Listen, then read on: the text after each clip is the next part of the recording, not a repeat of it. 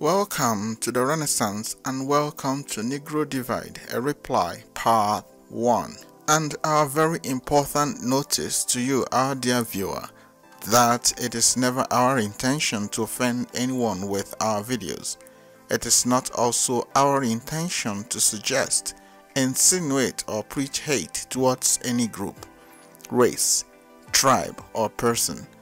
This video is not a propaganda video and never a deliberate attempt to misinform anyone. The goal is for you to look for the books, journals, magazines, or other publications referenced and study them yourself. Remember, it's easier to build strong children than to repair broken men.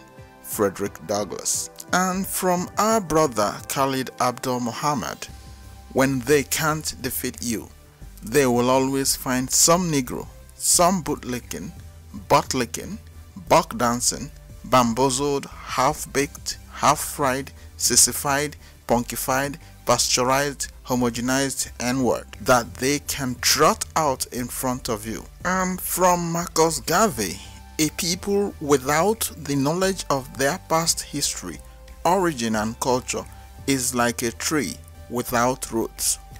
Negro divides did you watch our series on the Yoruba question? Did you find time to read the comments the series attracted? Is it clear to you that the Negroes clearly have no idea of their identity or who they really are? So, permit us to ask, what's the history of your identity? Do you know? So, do you remember when we mentioned that Yariba, now Yoruba, was coined and created circa 1808 by the slave masters? Did you see comments from the so-called Yorubans? Remember when we told you Yorubas are not Negroes? The correct narrative should actually be that Yoruba as a group comprises of Negroes and non-Negroes because they did not exist as a group during the slave trade. However, today we're just going to be replying to some of the comments we received from our series on the Yoruba question. Now, the challenge is some users who saw that there was no recorded history of Yorubas any time before 1808. Now, instead of looking at what we're saying, they now started saying we claim that Yoruba did not exist before 1808, whereas there was no group like that. What the slave master simply did was to bring the Negroes together with those that were capturing and selling them and named them Yoruba, which is a slave master's game, anytime, any day. That's just what they do. So let us quickly take a look at who the Negroes are really by referencing a book called British Nigeria, a geographical and historical description of the British possessions adjacent to the Niger River, West Africa, by Lieutenant Colonel A.F. Mockler-Ferryman and it was published 1902. And there it tells us that the most popular method of classifying the natives of this portion of Africa is under three heads, visibly Hamitic, Negroid, and Negro. The Hamites are supposed to have had their origin in southwestern Asia, to have immigrated into Africa at some unknown time and to be represented in the Western Sudan by the Berber division of the Libyan group, to which, as previously pointed out, possibly belong the Fulas, that's the Fulanis, the Bonos, and the Bogos. Now, note this very well because all these groups are in Nigeria. So, when you see support for Fulanis and Kanuris and Bogos or Bonos or whoever they call, you understand where it's coming from. The so called African Americans will not understand this. The Negroid is the link between the Hamite and the Negro, resulting from intermarriage, while the Negro is the West African pure and simple, whose blood has remained unadulterated by the foreigner. This classification is, at first sight, clear enough, but an element of confusion appears when we find Negroes described as sons of Ham. So you see that Negroes are not Hamites, as you may be thinking and Mohammedans in general spoken of as Arabs. This again, you see that the northerners, mostly the non-Negroes, were Mohammedans. Practically, we have only to deal with Hamites, Negroes, and a cross between the two. The first And last, Holy Mohammedan, the Negro, in the main pagan, though where he has been conquered, Mohammedan. So our interest is where it says, though where he has been conquered, Mohammedan, because the Negroes are the targets. So all these things you are seeing is all about the Negroes. So we want to talk about the divides, but not in detail. For example, we're not going to talk about the different ways Christianity, Islam, and Judaism has divided them, but the other political and subtle ways that the slave master has used identities and appellations to match them with the Hamitic and Negroid groups who were the main slave hunters during the slave trade, and their interest is to continue to use those Hamitic and Negroid groups because, like we told you, the slave master recorded that they are not very intelligent, which we shall ultimately show you in very clear detail where they describe them as such. And for the interest of those who do not understand who the Negroes really are, this is why you hear them saying, Oh, Yorubas are Negroes, these people are not. Simply because they are ignorant of the fact that those appellations were created by the slave masters. Originally, all the Negroes were known as Negroes. So all these other names you are seeing, these are Igbos, these are Yorubas, these are um, Efik, these are Ibibio. It's a slave master's divide and conquer system. So to understand a little summary of who the Negroes really are, because saying that the Negroes could have been able to capture and sell themselves doesn't make sense because it's like saying somebody is peaceful and at the same time violent. It doesn't make sense. But if it makes sense to you, please put it in the comment section. Because the only reason Negroes were being captured and enslaved was because they were peaceful and their way of life at that time, which the slave master labeled paganism, forbade them from killing people. So that's why you see that you could catch a Negro, make him a slave, and he's not going to kill you.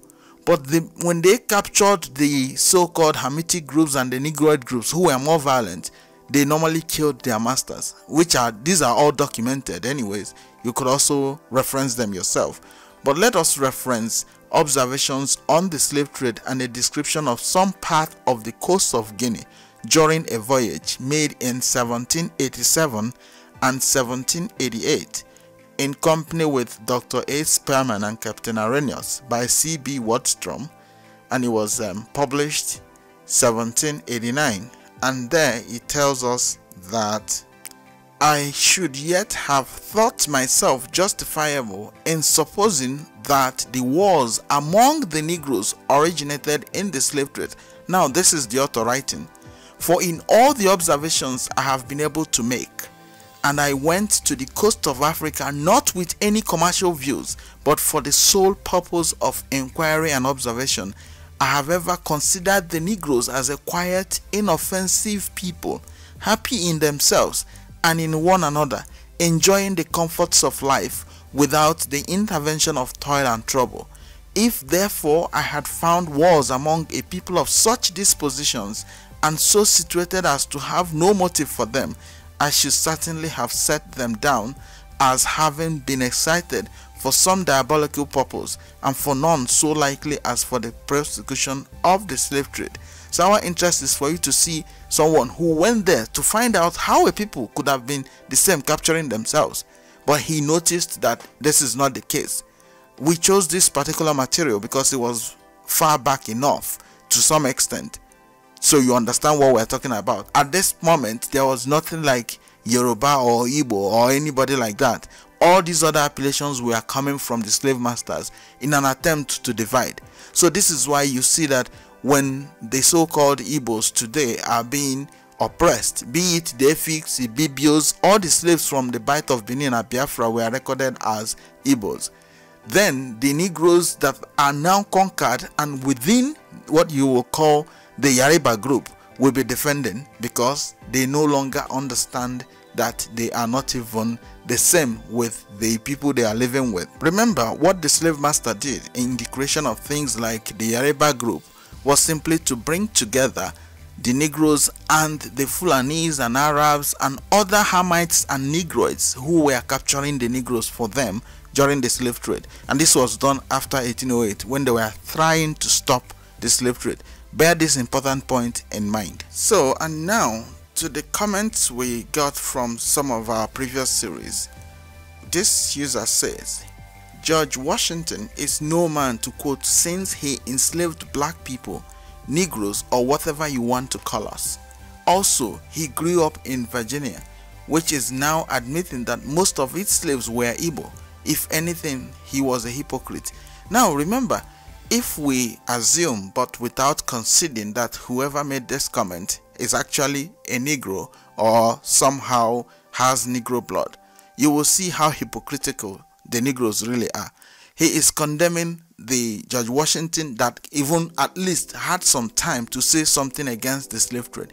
Meanwhile, he is defending the Nigerian army that was the same army that was used to capture the slaves. So you see that condemnations seem to come only when the white people are involved. But when the atrocity is committed by the Hamites or any dark-skinned people, they accommodate it. So you see what is happening in a place like sub-Saharan Africa today, in Ambazonia and in Biafra, as those people are slaughtering in their numbers the what would have been Negroes during the slave trade. They have the defense of the so-called Negroes or the so-called African Americans who also will be condemning the white people but they forget that it is those same people there that provide the weapons with which these other people kill others so you see how this game works now we got a comment of someone who also said something. So please compare that user's comment with this other user that said you never talk about the Caucasian and why he is so evil. I would like to know what you think. Now our response to that was simple. Without the enemy within, the enemy outside cannot hurt you. And which is an African proverb.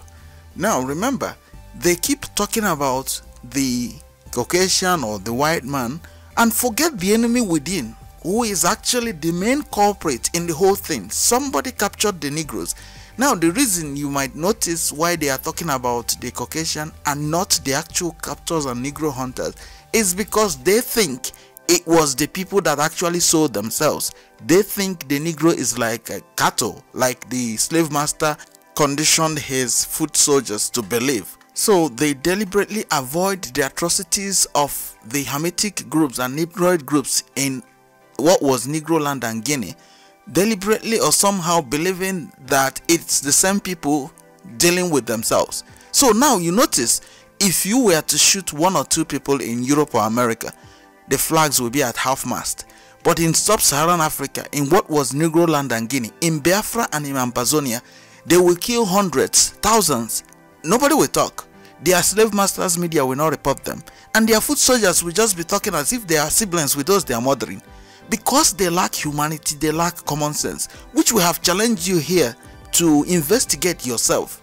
However, moving forward, you see the comment from one of the users as well. The Emancipation Proclamation, if you actually took time to read it, says nothing about importing slaves, only that the slaves in the Confederate States were free. It was in 1807 British Parliament outlawed slave selling to the Caribbean and 1808 the United States followed outlawed it to this country. Still, the last of America's slave ship was in 1860 before Lincoln became president. Now, if you notice, he is still trying to apportion blames to purely the white and exonerating the black. The Emancipation Proclamation actually stopped the export to the point that what was the army used for the slave raiding at that time was renamed. That's how you got what you call your Nigerian army, your Ghanaian army, and all those armies you have in West Africa today, which we are going to look at in this video. And the same user made the following comment as well. And he said, The Renaissance. Also, when I checked, the Nigerian army, while rooted at 1863, was not some large force, nor was it set up to raid for slaves. It was set up by a man named Glover and it consisted of a small number of Hausas. Now maybe Fulani enlisted but there are at or at least have been Igbo in said army since whenever. So at least you can see that he is trying to exonerate the army or at least make everyone responsible for the problem. And that's where the slave master is very subtle. You see, the slave master created those identities from the Negro group. So the moment he created the identities, people start pointing fingers at each other. But with the enemy within being used by the slave master to destroy them from within themselves. So remember we told you that the Negro does not believe what he hears, does not believe what he sees, does not believe what he reads, but he believes what he is told. However, the slave master understands how to make the story believable to the Negro. However he does it, we don't know. You notice that this user claims or alleges or believes that the so-called army was created as a small group in 1863 without asking or telling us who was capturing the slaves before 1863 that made him believe that the army could have been formed in 1863 so let us look at who he claimed formed the army remember he claimed that it was formed by glover in 1863 and it consisted of a small number of Hausas. So please bear this in mind to show you how gullible some so-called Negroes or Hamitic groups or whoever, how gullible they are to the lies or whims and caprices of the slave masters. So let us reference Life of Sir John Hawley Glover by Lady Glover and it was published 1897 and there we are told that while Captain Glover was still on leave in England new complications arose in Africa which led to war with Ashanti and it will be seen in the next chapter how he was sent for by the war office to advise the authorities with regard to raising native troops and utilizing the rivers and roads into the interior through which they must pass. Now this is as at 1873 and he is telling us that somebody who was being called to come and help them raise native forces raised the same native forces by 1863. So notice this very well. This is almost 10 years after. But our interest is for him to pick up this book and read it himself. However, on the opposite page, he tells us that before proceeding to give the unfinished report of the native expedition against the Ashantis drawn up by, by Sir John Glover, it may be as well to indicate briefly the causes which led to the outbreak of hostilities on the west coast there can be no question that the main exciting cause of the Ashanti War of 1872 to 1873 was the cession by the Dutch to the British Crown of Elmina and their other settlements on the Gold Coast in April 1872. In spite of the fact that prior to the ratification of the convention by which the Dutch surrendered their rights, the British government had ascertained from the King of Ashanti by whatever means that's not our interest. Our interest is to show you that Glover did not form the army. The problem this user has is he reads what the slave master and their foot soldiers are saying and runs with them. Now again, in all in an attempt to protect the people that did the slave hunting, which they are still doing till tomorrow morning, which we are going to continue to show you. So if you look on top, just above the highlighted portion, you see where they got that lie from. Because remember, they look at what the facts really are and twist them a bit. You see where it says, Captain Glover proceeds to Cape Coast to enlist Hausas and native allies. So at this time, this was not for the so-called Nigerian army. This was for their expedition against Ashanti. That's what they were doing because the British troops were already on ground they needed local troops to help them fight the Ashantis. Like we told you, it's always very easy to get a Negro to use against his fellows. So that's why you see that they were able to get locals to help them fight the Ashantis. Meanwhile, the Ashantis are not Negroes anyway. So please notice that this user claims that the Nigerian army allegedly formed in 1863 was not formed for slave raids but forgot that the slave trade had lasted from 1434 to 1863 and does not ask which army they used to capture the slaves before the 1863 and that by 1863 they simply rebranded the slave hunting terror group all in a bid to stop the slave raids.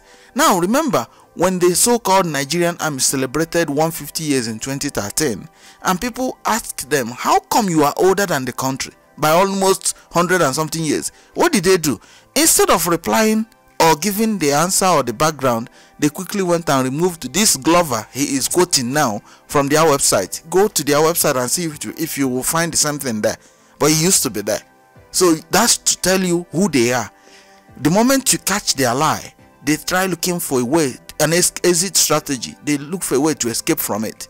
They are liars. but this user doesn't know that. That's why we challenge you. Leave the so-called white people. Leave all the things they were they tell you. Try to find out who did the capturing. How did they get the negroes to go into a slave ship? If you notice these people like the Dane Calloway group telling you about being indigenous those are all slave masters games we will show you that the slave master never paid the slaves anywhere. Their formula is to pay the slave owners. They never pay the slaves.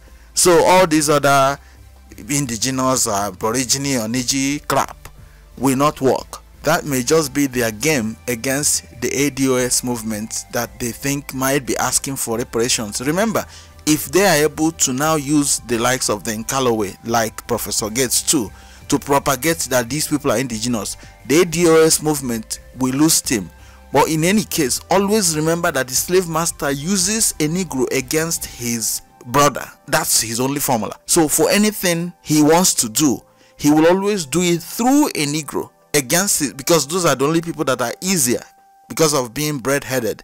Those are the only people that you can get to use against themselves. That's why you can send someone from the Nigerian army to go and raid a place in the south where his siblings are and he will do so because one, he doesn't know the history of the army he joined. Two, with economic strangulation, they are able to make people to join the army when ordinarily they wouldn't have.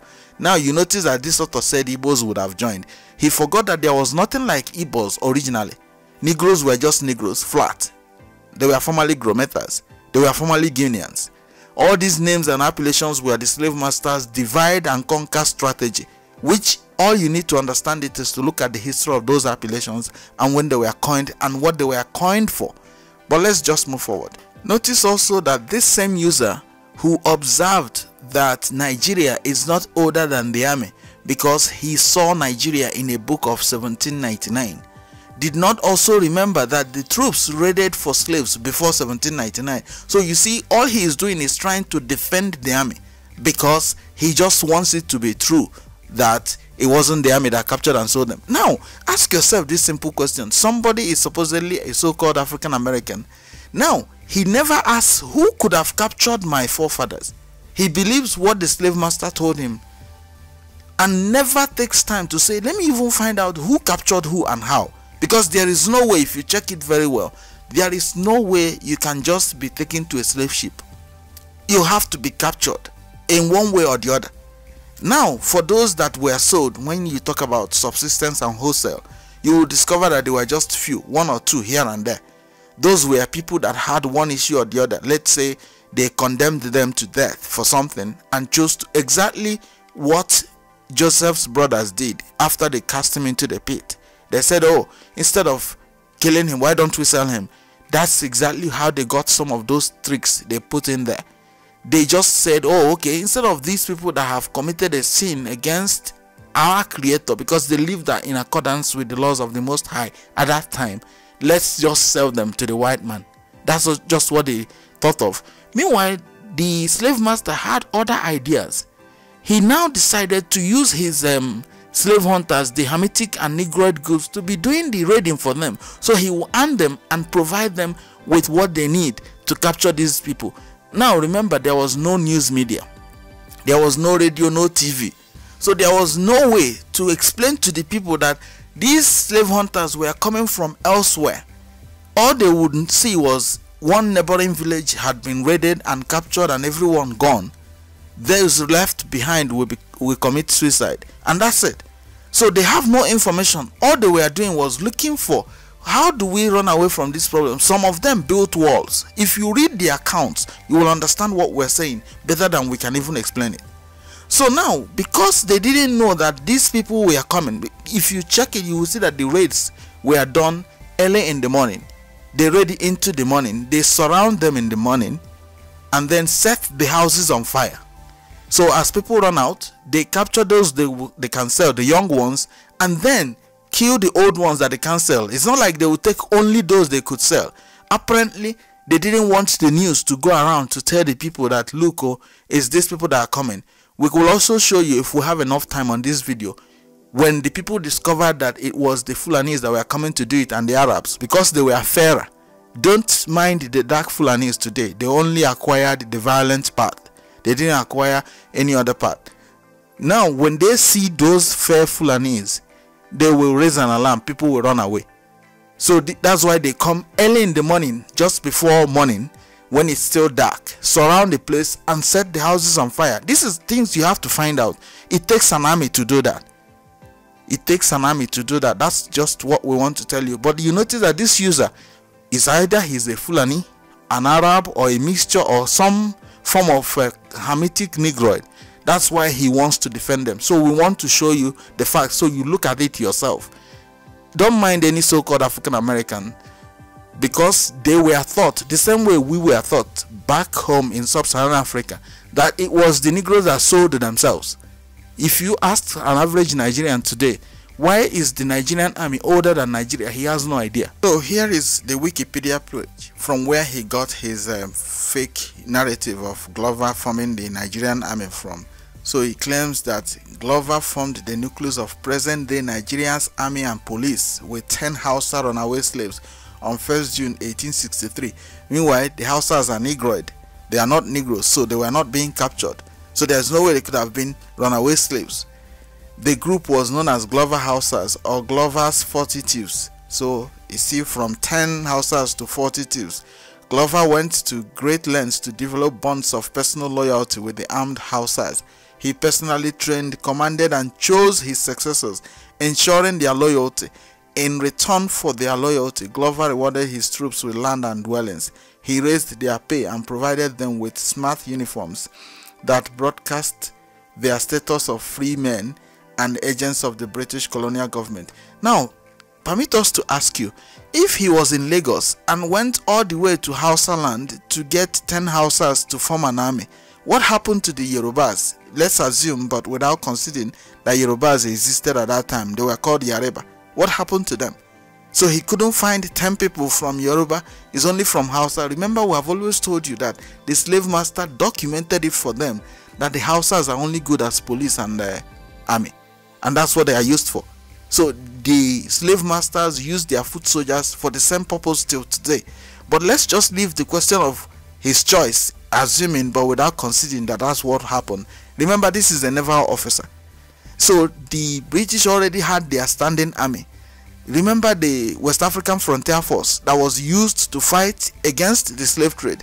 So why is he forming this one if he claims that's the nigerian army what happened to the west african frontier force these are questions we are asking that our user to tell us first before we take him down to how the army came to be. So we'll be expecting our dear viewer, Professor Watt, to explain to us whether the West African Frontier Force was fighting the Nigerian army or who were they fighting to stop the slavery because that's what the West African Frontier Force was supposed to do.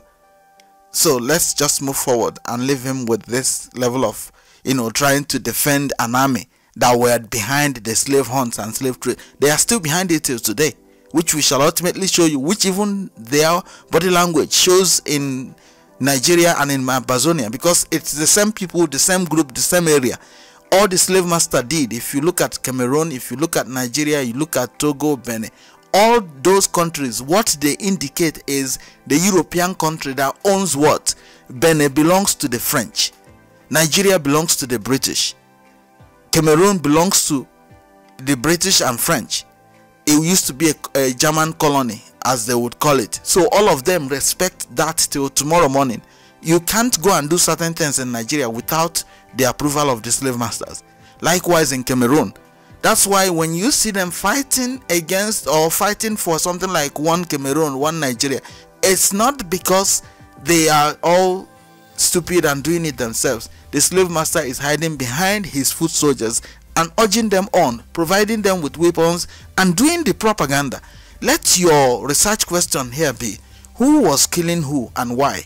And how are they getting the weapons? Because they don't manufacture anything called weapons. We shall ultimately show you how that favors the slave master, what their game is all about. It's a very simple thing to decipher if you understand that terrain. And on a side note, there is something they may call up at any moment these foot soldiers. Remember, their whole goal is to claim that Negroes actually captured and sold themselves, which is a lie the slave master sold to everybody. So our our interest is to prevent them from selling that lie. Again, remember, These are the reasons we, we are struggling with them over how Yariba came to be. The slave master created a group, added their foot soldiers into it, and named, labeled them Yariba or Yoruba. But now these people are buying it as an ancient group that existed without knowing that it is a Negroes plus the foot soldiers of the slave master, those who did the slave hunting and slave capturing for them, that they used to create it. That's why you can't see Yariba or Yoruba anywhere before 1808. You can't see it anywhere. If you doubt us, ask any Yoruba professor. Most of them know. But like we told you, you can always use a Negro against his fellow Negroes. That's normal. That's a known fact about them. It's common knowledge. So now, this is the Aro-Anglo War. If you ask them now, they will say, oh, the Aro fought the British, which is a very big lie from the pit of hell. There is no way a people without arms could have fought any war. So now, according to them, it says it's between 1901 and 1902. So 1901 and 1902 was a British and Nigerian army combined raid on the priests, which was when they wanted to deceive the whole world that it was the priests that were selling the slaves. When they made up their minds to stop it, they obviously entered some negotiations with the Fulanese, who owned what you call your Nigerian army today, which we challenge you to research. You don't need to believe us. We are not asking you to believe us, because if you research it, you will understand it better than if you believed what we're saying. So now this Aro-Anglo Wars, you notice that he claims that the he listed the colonels in the army that did it and he said 87 officers and 1,550 soldiers was the strength of the British and 7,500 plus Aro and Allied soldiers. This is a very big lie. At that time, there was nothing like Aro having an army. It's impossible because there were one, there is no barracks. Two, how were they living? Three, how were they paid? What were they paid with? So you see how the slave master came to say they didn't have horses, they didn't have camels. They were just priests doing their thing with what whatever they were worshipping at that time, which we are going to show you shortly. But then the the whole cross of this matter is these viewers insist that oh no, it was the Negroes capturing and selling themselves. And then they claim it was these Arab people that did it. Now notice where he claims that the Arabs knew that the British penetration would destroy their economic dominance of the hinterland. This is a lie. The Arab priests were like the rulers of the place. They were more like it was a theocracy. These were priests. That's how the place was. Till tomorrow, everybody knows that the so-called Igbos had no kings. These are well documented as well. So now, it goes further to say they also opposed their religion, Christianity, which is correct because the religion to them was false. And he goes further to say, which threatened their religious influence through their oracle Ibini Ukpabi. Now, remember, we have shown you that this same thing they are calling Ibini Ukpabi. When they first came, they said it was Chuku, Chuku Abiyama, and according to them, they said it meant, and people say God lives there. Then they changed it to long juju. It was when questions started coming because some people were saying, how could an Igbo, supposed Igbo deity, have an English name? Because if you check, long juju makes no sense whether in Igbo, Efik, Ibibio, or any other indigenous language. It was a label the slave master gave it. Like we told you, the Negro listens to what he is told. He doesn't believe what he knows. So the slave master figured that if he doesn't change it to something more indigenous, it won't make sense. He now went and started calling it Oracle Ibn That's how. So it goes further to say the Aro-led raids and invasions on communities were conducted in order to undermine British penetration since the 1890s. Notice that the slave trade had lasted from 1430s to 1890s. That's when they started accusing the Aro of course, the Aro had every right to defend their territory against people coming with a fake religion. That's the truth about it. But then let's go further. It says, while the British prepared for the invasion of Arochukwu in November 1901, the Aro launched their last major offensive before the Aro expedition by British forces. Aro forces led by Okoro Toti sacked Obegu, a British ally, which resulted in 400 people dying the attack quickened British preparation for their offensive. This is a very big lie from the pit of hell, which we shall ultimately show you. But just so we don't digress so much, the Aro did not have any foot soldiers, any troops. They just had little enforcers, like what you will call, what the slave master will call slaves, but you will call it the apprentice. You will call it the so-called Osus. They were the Nazarenes. They followed the priests. That's how it was. All the same, let us leave that for now and reference the making of Northern Nigeria by Captain C.W.J. Orr and it was published 1911 and there we are told that in the spring of 1901 Sir Frederick Lugard proceeded home on leave of absence Mr. William Wallace assuming administrative charge of the protectorate until his return in the autumn.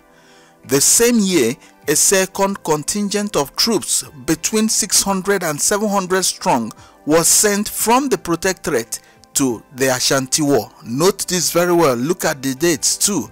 Leaving in April and returning in October. In the later month, that is November, a contingent 300 strong was further sent to southern Nigeria to assist in an expedition against the Aro tribes in that protectorate. This being the third occasion within two years on which northern Nigeria was called upon to provide a contingent for operations outside the protectorate. So this was when they destroyed the Arab place. There was no war. They just raided and destroyed and burnt the whole place down because they believed that that's where the people's power was. Now, look at the total number of troops and compare it with the number of priests. How many priests did they have? Were they up to 10 or 20?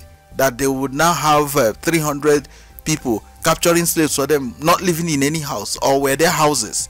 These are things they needed to at that time to claim that oh they were behind the slave trade. Now if you get this material and read it you will see that there is no way any sensible person can say that the arab priests were the slave hunters. Now if you notice they didn't even say they were the slave raiders or slave hunters anywhere. They just said they raided and destroyed them this other narrative of oh they were carrying expedition 400 people died those things are lies which are very easy if you conduct the most basic of primary school research, you will find out what we're saying. And here, from the same author, it tells us that slave raiding with all its attendant horrors was being carried on by the northern Mohammedans upon the southern pagans and the latter divided into a vast small number of small tribes were constantly engaged in intertribal warfare. Now, this is the slave masters game. They keep claiming that those people were engaged in intertribal warfare. But with common sense, you will know that there is no way somebody with bows and arrows can capture another person for sale. Secondly, even without bows and arrows, if you used gun, if you shot the person, you will discover that he becomes immobile, he dies. So you can't catch slaves with guns as well too. So the only way you can catch them is of course with the troops where they raid, hunt and capture them and yoke them. Because remember it's recorded that if the negroes are caught they if, and they are not restrained they commit suicide. So how can somebody now say it's the same people capturing themselves? If this makes sense to you put it in the comment section and explain to us how we are ready for any debate however you want it. How negroes could have just captured themselves with bows and arrows or even with guns. Just explain to us how you think that's possible. So here again you see that in December, however, the return of the troops from Ashanti relieved the situation and enabled the High Commissioner at last to deal with the two Mohammedan emirs who had been devastating the country. An expedition was at once organized and early in January it marched on Kontagora. Now our interest is to show you that anyone they are not telling you about, that's what they're hiding. If you notice they never mention even the fact that the army was behind all this. So the person claiming that oh the army wasn't formed by this let him tell us which armies were going for all these things that they are calling troops. If they are not army who are they? Who were they fighting against? He needs to understand what they did so here again you see the abolition of slave raiding it says raiding and intertribal warfare was therefore the first duty that devolved on the new administration. But this means nothing more nor less than a military occupation of the entire country. So it goes further to say, for it was idle to suppose that peace could be achieved from a distance by a mere decree without a force on the spot strong enough to impose it. Now you are claiming that the slaves were acquired peacefully by people who were not armed, but they now need force to impose it. Then he goes further to say, nothing but fierce opposition to a policy which prohibited slave raiding could be expected from the Mohammedan states whose entire social organization depended on a sufficient supply of slaves and whose so-called wars provided them with their main source of income. Can a cat give up mousing? was the reply of the slave-raiding emir of Kontagora when informed that under the British regime, slave raiding must cease. When I die, it will be with a slave in my mouth. The pagan tribes might be expected to welcome power which promised them their immunity from the slave race which had devastated their countries for centuries, but they formed only a portion of the area to be administered. Now we ask you, with all these things, you still are blaming the so-called pagans because the Arab priests were supposedly pagans by the slave master's definition of Negro paganism. And now you are blaming the same pagans of being behind the slave trade. If you think that thing is true and makes sense to you, please put it in the comment section. Let's see how and where you are getting such a conclusion from. Let us also reference A Tropical Dependency by Flora L. Shaw, Lady Lugard, and it was published in 1905. Now remember, this was the same woman they accused of being behind the name Nigeria. Meanwhile, the name existed before she was born.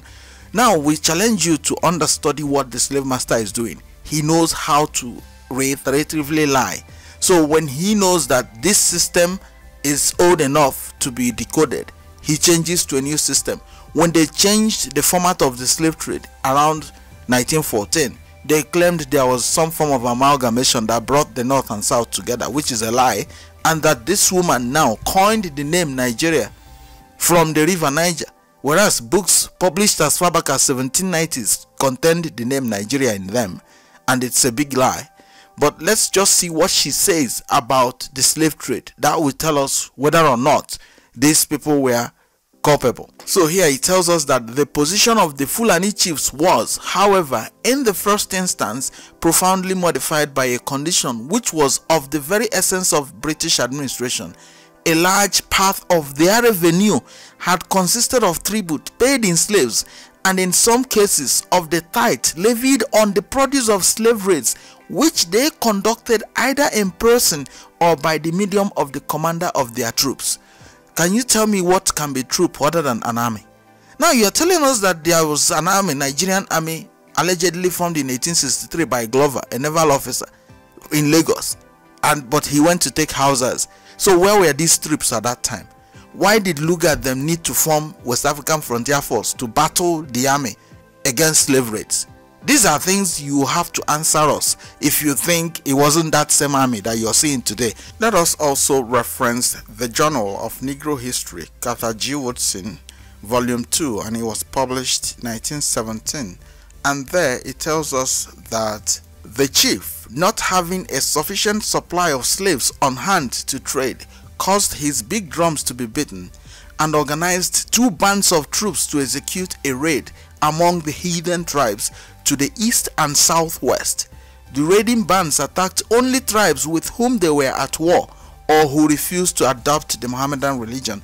So our question to you, our dear viewer who claims that the Nigerian army was not this same slave hunting terror group, is to tell us where the army was at that time and if these troops are not armies. This is as at 1917 the Journal of Negro History because at that time they were still saying the truth. It was when they figured that they could just lie because the Negro doesn't read, he just believes what he is told. They now started saying, Oh, you sold yourselves. If you were to go to a place like Nigeria, they would say the Negroes actually sold themselves. That's what you will hear. And of course, this is also propagated by the so called conquered Negroes. They will also be saying the same thing.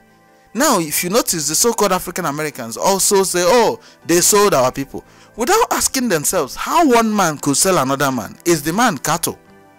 That he will just wake up and start following another man and say, Oh, I've sold you, and he starts going. That narrative doesn't even make sense.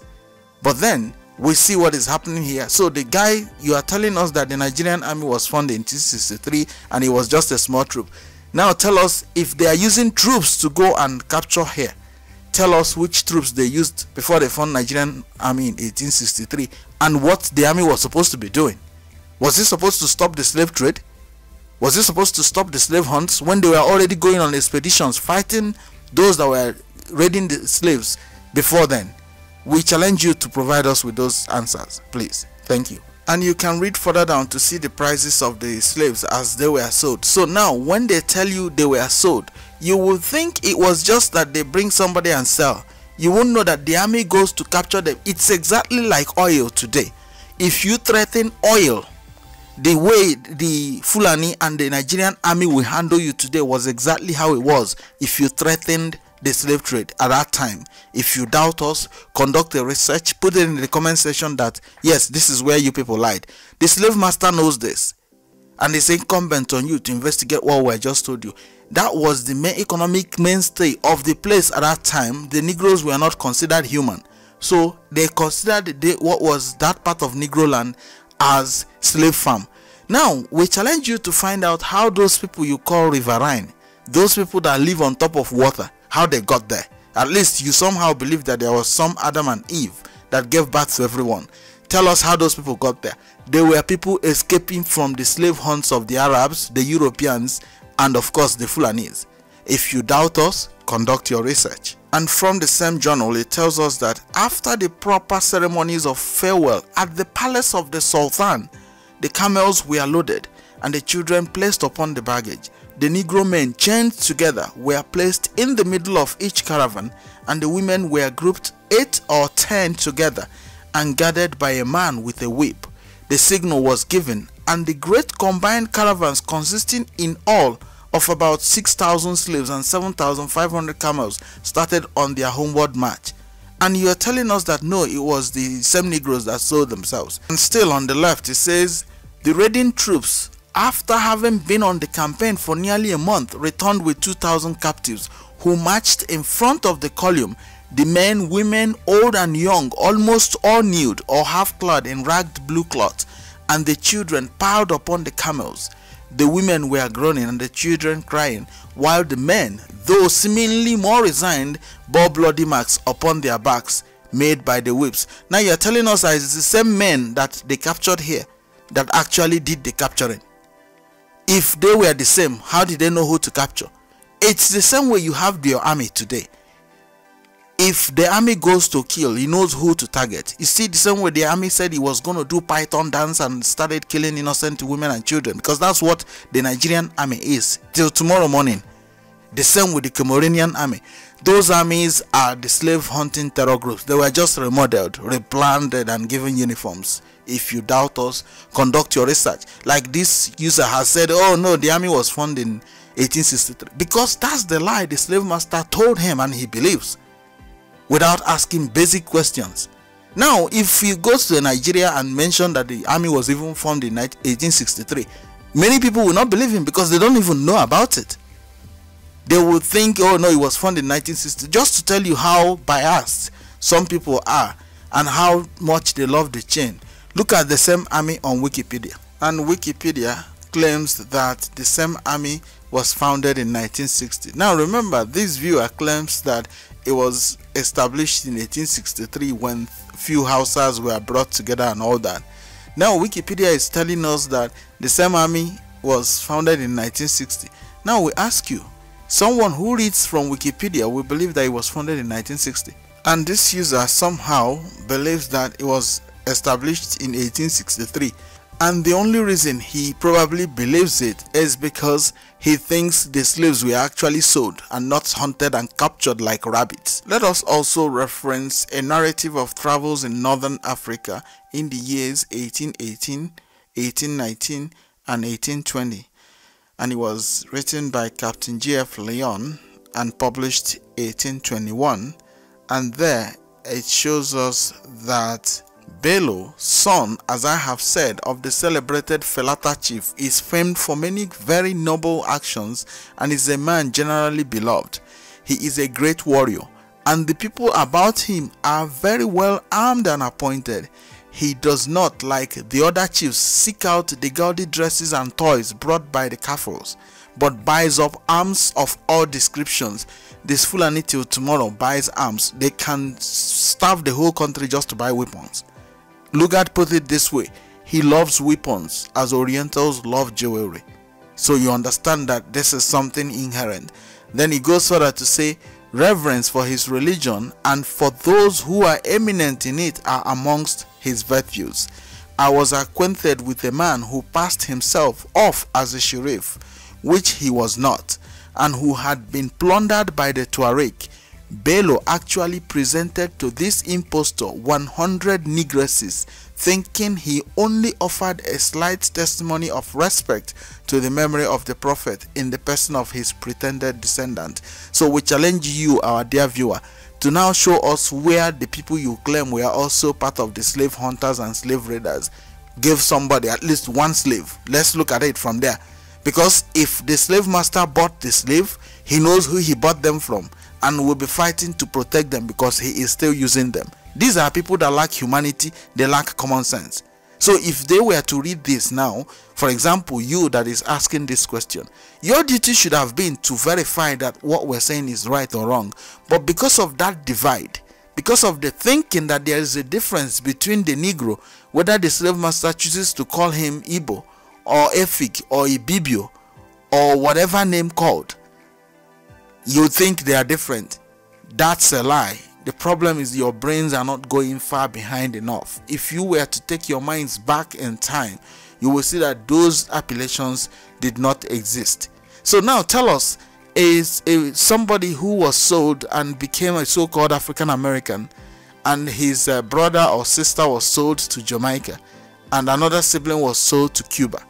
Are you now telling us that, oh, okay, this one is Cuban, this one is African American, and this one is Jamaican. Therefore, they are now different. That's not the thing. You need to read between the lines. The slave master is hiding something in what was Negroland and Guinea. And if you were to open your eyes and study very well, read between the lines, you will see that they are still on their game till tomorrow morning. Let us reference The Fulahs of Central Africa and the African Slave Trade by W.B. Hodgson and it was published 1843 and there we see the following. Throughout the whole extent of Nigritia or Negroland the Fulahs undoubtedly occupy preeminence. They are found spread over a vast geographic region of 28 to 30 degrees in longitude 1500 miles and of 7 to 10 in latitude or 500 miles. They extend from the Atlantic Ocean from the mouth of the Senegal and Senegambia on the west to the kingdoms of Borno and Mandra on the east, from the desert of Sahara on the north to the mountains of Guinea or Kong on the south. This wide superficies contains more than 700,000 square miles, which is equal to the fourth part of Europe and the tenth part of the immense continent of Africa. Compared with the United States, these parallels of longitude would extend from Maine to Missouri what may be the Fulah population spread over this region, it is impossible to approximate, but a low estimate of 3 inhabitants to the square mile would give a population of 2 millions. So the Fulanis are spread all over. That's why even when you are saying these are people are killing us, you will see somebody from within you shouting, oh no, it's a lie. It's not because it's a lie. They are planted everywhere. They act as enemies within they own the army as well. So the army is totally as useless to the Negro as anything else. If you doubt us, conduct your research. And going further down, it gives the different names they are known by, which is Felan, Felani, Fulani, Fula, Felata, Fetia, and Peola, whatever. But our interest is for you to know who they are and note what we're talking about. The Nigerian army, the Cameroonian army, all those armies used to be their army along with the Arabs during the slave trade. They were used for slave hunting and slave raiding, which we challenge you to investigate, conduct your research, put it in the comment section that we have lied or that you found out that they are not, like this user has done. At least we can see that there is no way anybody can say the army was formed in 1863. Instead of just that they renamed the slave hunting terror groups in 1863 to Nigerian Army. And here it tells us that on the Niger and in Sudan, they occupy or have conquered the kingdoms of Yareba, Nufi, Hausa and others. Now remember this Sudan you see here used to be the name of Negro land or what you call northern Nigeria today. However they moved to the people over, we can't explain in this video but we had seen the trend which we shall look at in a different video. So it goes further to say there is an immense country yet unexplored by the white man 800 miles in extent between Bambara on the west and Yareba on the east and lying in the rear of the grain and ivory coast. This unknown land is supposed to be occupied by Fulahs such is the geographical distinction of this singular race. The Fulahs are not Negroes they differ essentially from the Negro race in all the characteristics which are marked by physical anthropology. They may be said to occupy the intermediate space betwixt the Arab and the Negro. All travelers concur in representing them as a distinct race in moral as in physical traits. To their color, the various terms of bronze, copper, red, reddish and sometimes white has been applied. That's our interest here anyways. And going further here it tells us that the Fulahs are a warlike race of shepherds. And within this century they have established a political organization subjugated a large portion of Sudan and founded Sakatu the capital of their empire. Clapperton says that this town which was built in 1805 by Danfodio the prophet and the first political and military chief of the Fulahs was the most populous which he had seen in Central Africa. So our challenge to you, our dear viewer that claims that the Nigerian army was not the same slave hunting terror group of the Sultan, we challenge you to tell us which military chief they are talking about here. Can there be a chief without a military? If there was a military, this is as at 1843, where is that military today? You claim that the Nigerian army was formed because they told you that's the challenge of the Negro. He believes what he is told. But our challenge to you is find out where this military disappeared to. We are not going to conduct that research for you because when you do it, you are going to discover that what happened was at the end of the slave trade because they were cajoled into it. They didn't want to stop it and they've never stopped it. They were cajoled into it. They argued that that was their economic mainstay. So if you are thinking, oh, it was bad, to them it is not bad. That's why you still see the army till tomorrow. It kills innocent men women and children from mostly the southern part that are not Fulanese we challenge you to investigate this.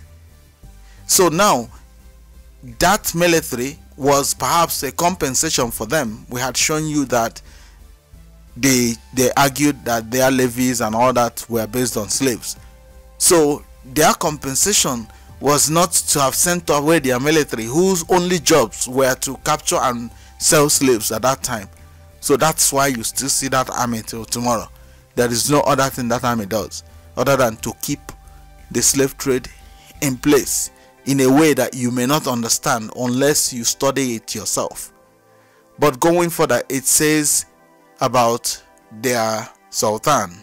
At the period of his visit, the Sultan was Bello, or according to Mr. d'Avezac's correct orthography, Mohammed B. Ella. He also writes Danfodio, Otsman Zon El Nafadia, or Otsman the Destroyer. Then the Destroyer is a, a peaceful man, you want us to believe, right? No Negro had that type of attribute. You can investigate it yourself. Then he goes further to say, the Fulahs are rigid Mohammedans and according to Mollien, the French travelers report, they are animated by a strong zeal for proselytism. They are the missionaries of Islam among the pagan Negro tribes. Note this very well. Where they have conquered, they have forced the adoption of the Quran by the sword, and whilst pursuing quietly their pastoral occupation, they become schoolmasters, malims, and thus propagate the doctrines and precepts of Islam.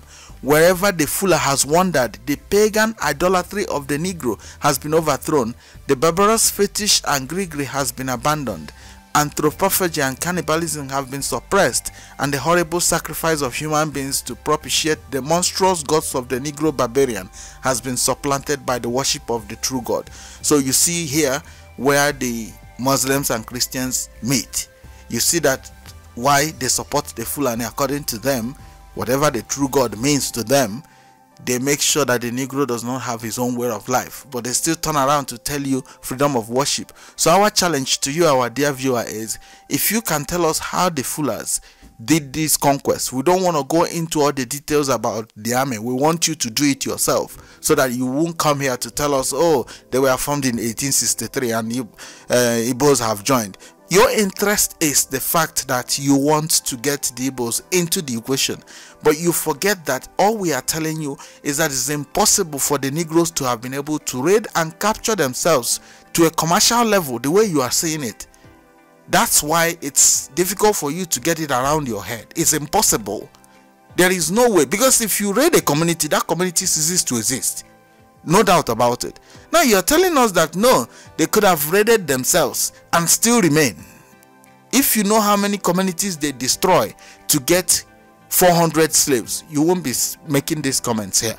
You will go back to your studies. And here he tells us something very interesting and he says, the slave vendor told us that all of the slaves would have to be sent to Rabat, the principal slave market, at present in the interior of Africa he replied that he could make no objection to all I had said, but still that the slave trade was not against the laws of this country and of their king, that if the king of Rabat, Sumo Sariki, would make a law against the slave trade, the people in general would willingly give it up. To gain over the Felatas to the abolition party is certainly the most desirable thing as there the axe would be laid to the root of the slave trade. So, what more do you need to know who is behind it? Now, if you want to understand how they are doing it today, look at the Ruga issue in what is Nigeria today, where the slave master is planning to put the Fulanese everywhere around what is called Nigeria today. In every place that is not their own. If you look at the propaganda of the BBC and how they are doing it, you will see that this same game is what they are playing. It's unfortunate that people do not see. It's unfortunate that people still see the people there as the same people, which is impossible. They only make the Negro look stupid to the rest of the world when they are actually not Negroes. Just because they have the same color does not make them the same. And until the Negroes realize that these people are not the same with them, it's not going to work. Unfortunately, the conquered Negroes in the Yoruba area are also being used. So you see all, all of them pretending to be part of the Ruga thing because the Fulanis are everywhere. The only way the enemies outside can hurt you is when there is an enemy within. They act as an enemy within. The army is part of this the whole thing which we challenge you to investigate. Now, if you doubt what we're saying, let's say when the army went to raid or kill the leader of the indigenous people of Biafra, even though they failed. Somebody gave the order. Have you bothered to ask yourself who gave that order? How come there is no inquiry to say why did you people go when there is a court? That's because they know what they are doing. The court is still part of it because the whole essence of a court is for the slave master to determine who is guilty. Think about it. If you killed somebody, it's as simple as that. But the slave master used the European court system to make sure that when the Negro does something, he claims it's against the law. If you notice here, this is a slave vendor being asked to stop the business. And he was telling them that it is not against their law. If you doubt what we're saying, look at the Fulanis in places like Nigeria today. If you ask for freedom, they will tell you that it is against their constitution for anybody to leave the union. Now you will think it's a constitution that everybody gathered to make, but it's a constitution they drafted with the slave master, not with the people. If you doubt us, investigate. The Nigerian constitution was drafted by one man with the slave master hiding behind him to draft it. So when you talk about freedom, they will tell you that, oh no, our constitution forbids it. So the people who do not know will think that there is a constitution people agreed on, whereas the constitution was the slave master's product. Nobody from the victimized areas had any input in them. They go there and write what they want. And that's why you see the army will always come and kill innocent people and nothing happens. Then the slave master will say, Oh no, they are obeying their laws. Look at it here so you understand what we're talking about. So, to show you how those people you call governors, you probably heard about how some people beat up a so called lawmaker in a Nigeria that is lawless recently to show you how those things work and how it worked back then. So if you read further down, you see where it says, speaking of the Nufe country, which is governed by two chiefs, Ezuisa and Magia, Malay Magia, he says, when I asked the people whether Mamagia sold many slaves, they all burst out laughing and said, how can he sell slaves being a slave himself to the Felatas? That's the Fulanis. Now you are telling us that those people like the governors, you will come and the Fulani will massacre an entire village and they keep quiet. You think they kept quiet because they are all foolish. They are conquered Negroes. They become more Catholic than the Pope. That's why you see the likes of Ekweremadu that has been in the Senate for like almost 12 years. They kill his people and he pretends not to see then we'll be bold enough to show you picture of, of his children schooling abroad it's the same thing the negro has no sympathy for his brothers that's the same problem there the fulani understands this the slave master knows it as well if you doubt what we're saying all you need to do is look at these materials look for them study them yourself and look at what is happening there today the same thing happens in where you call cameroon or uh, ambazonia if you doubt what we're saying investigate that too the same group uh, control the whole area. The same Fulanese rule more than four or five African countries. You need to find out how they did it. Because the slave master hides behind them with his propaganda and all that. So you understand what's going on. In subsequent editions, if we have all the time, we're just struggling with our laptop device on the moment. We will show you how the other people are slaves to the system and to the establishment. We will show you the flow the economic flow you understand why they go to war to keep the Nigeria whatever they call it one if you also doubt that the slave master has a hand in it go and listen to Obama's message to Nigerians before 2015 election because before then a negro was in power and he got there by accident which we challenge you to investigate as well. So before we conclude remember we mentioned that they normally pay the slave owners and never the slaves. So let us quickly reference Slavery and the Slave Trade in Africa by Henry M. Stanley and it was published 1893 and we see that in 1833 slavery was abolished throughout the British dominions and the government agreed to pay the slave owners of the West Indies 20 million redemption money for 1 million of slaves. On the 1st of August 1834, the famous Act of Emancipation came into operation. Throughout the West Indies, the eve of the great day was kept by watch meetings in acclamations of praise and thanksgiving. But our interest is for you to see that the slave master has never paid the slaves anywhere. So when Dane Calloway is telling you that, oh, they are indigenous, they are owed lots of money, that's the slave master hiding behind him. We challenge him to it. It's a lie the reason they are telling is so that some people will buy into it believing that the slave master was going to pay them. Then when they have succeeded in selling that appellation remember we told you about generational conditioning. A child born from any time from now that listens to the lies being propagated by the Calloway will grow up believing that he's uh, even a negro child is now indian. That's what they want to do. That's how they do it. So when they start it you will think that it's a joke then you will go and debunk it like many people are doing. But the slave master will keep propagating it knowing that you are debunking it as an individual but he is pushing it as an establishment. It doesn't matter if he's using a negro to do it. If you notice that they sold the negroes and they were able to deceive the rest of the world that the negroes sold themselves that should tell you how subtle the slave master is. So let's look at one more little thing before we round up. And from the same book, it says after the Asiento contract, under which for 30 years England secured the monopoly of supplying the Spanish West Indies with slaves. As many as 192 ships were engaged every year in the transportation of slaves from the African coast. So our interest is the 192 ships that were involved in the trade.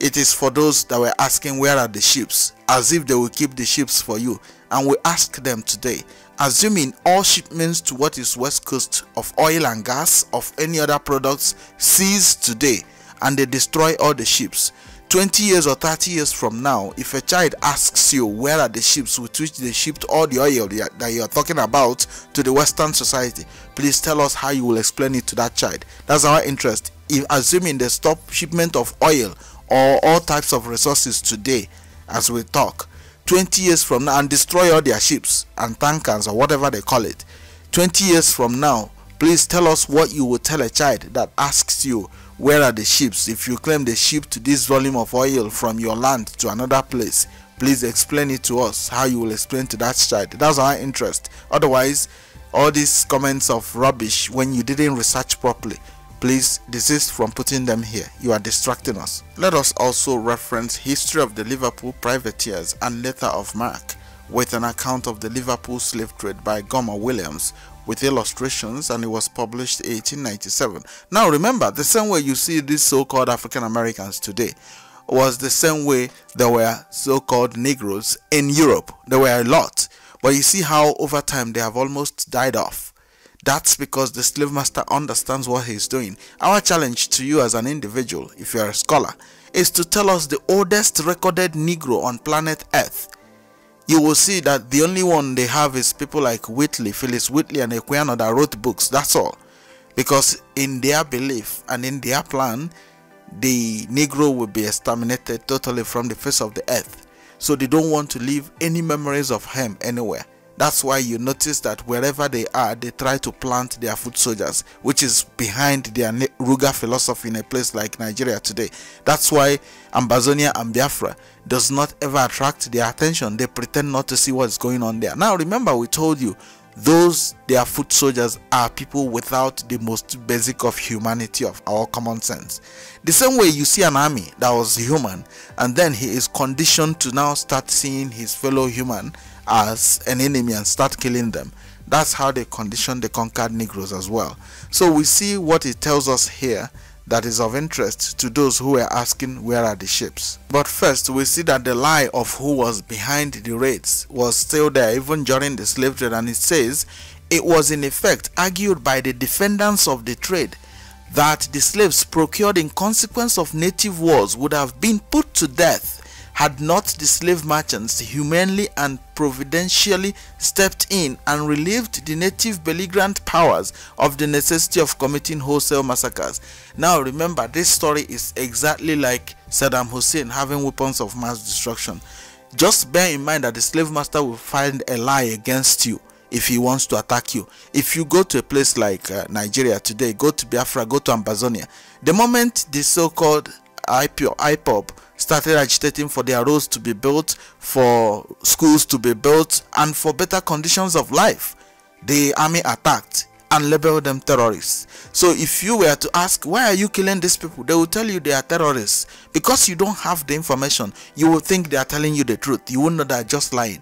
This was the slave raiding terror group. They just renamed them in 1863, which will challenge you to investigate and challenge us too if you think it's a lie like this other viewer has done, and we believe we would have clarified him that it doesn't make sense for him to think that the army could have been formed in 1863 instead of that they renamed the existing slave hunting terror group.